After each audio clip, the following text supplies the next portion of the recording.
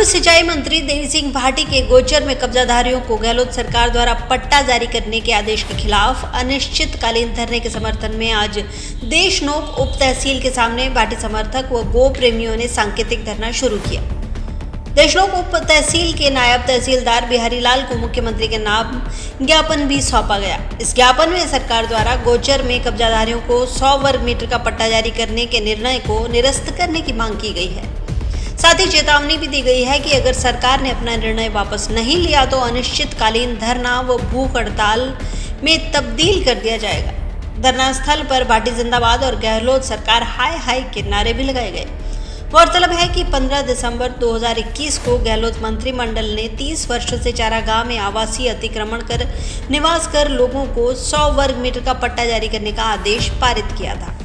देशनोक से लक्ष्मी नारायण शर्मा की विशेष रिपोर्ट। सरकार द्वारा जो गोचर भूमि के खिलाफ कैबिनेट मंत्री स्तर की बैठक में जो नियम कानून बना करके इसके पक्ष में जो प्रस्ताव पारित किया गया है उसके विरोध के अंदर हम लोग ये कर रहे हैं। तो धरना अनिश्चित है या आज के लिए सांकेतिक है ये? हमारे लीडर बीकानेर के अंदर अनिश्चित अनिश्चितकालीन धरना दे रखे हैं।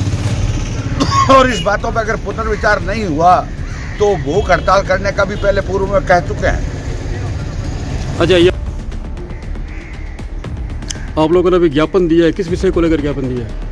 ये दिया सरकार ने जो आदेश दिए है और ओरण में गोचर के माँ जो पट्टे जारी करने के लिए उसके विरोध में दिया है देवी सिंह जी भाटी जी के नेतृत्व में।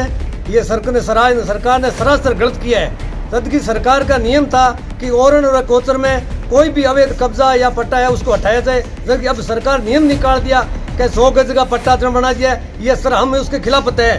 हम सब मिलकर इसके खिलाफ कर रहे हैं। खिलाफ कर रहे हैं। सिंह भाटी। सिंह भाटी। तुम संघर्ष करो हम तुम्हारे साथ